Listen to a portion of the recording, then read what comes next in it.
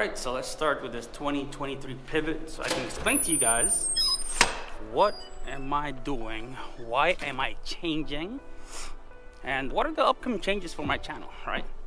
For Dr. Elo, Dr. Elo, the brand itself.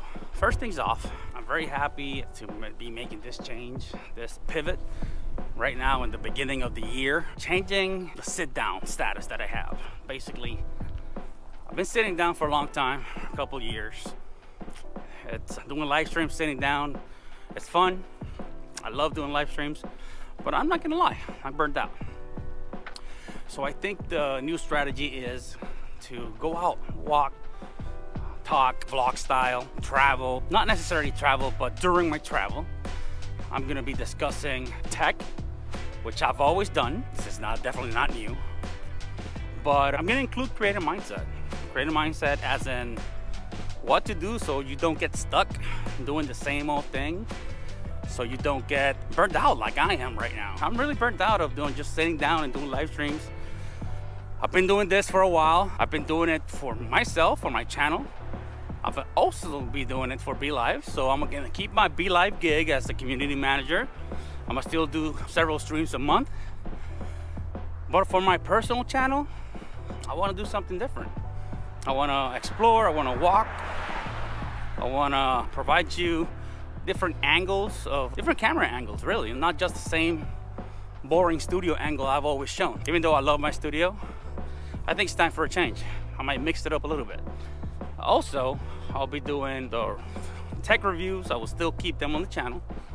Those will have to be hybrid. Right now I'm using the GoPro Hero 11 creator package which has the Volta which is the little battery pack and you can control from this like a selfie stick-ish thing you have in here right in the bottom in here I'm using a Sennheiser 200 microphone and uh, just walking around trying to get some content created. I'm also be using different microphones. It, depends on whatever I'm gonna do. There's gonna be different sets for everything. But this channel, moving forward, creator mindset, vlogs, and tech as we used to do before. But yeah, that's basically what I wanted to explain to you guys that why my change, why I thought about doing something different now in the beginning of 2023. And I think it's just, it's, it was time. It was time, I think. It's time to make a change. It's time to include more stuff into my channels. I'll still do shorts. I'm not gonna stop doing shorts. Shorts is the new thing and shorts are here to stay. I'll do probably a lot more shorts about creator mindset and tech than vlogging itself. I think it's a little bit easier to digest, to provide some value to everybody on this channel, or whomever wants to watch Dr. Elo, right?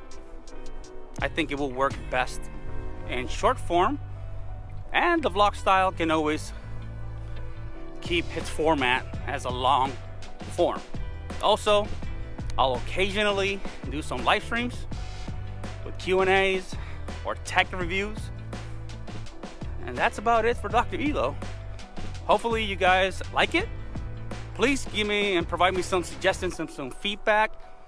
And this is it for Dr. Elo. I'll be seeing you guys in this channel via video, probably some live stream.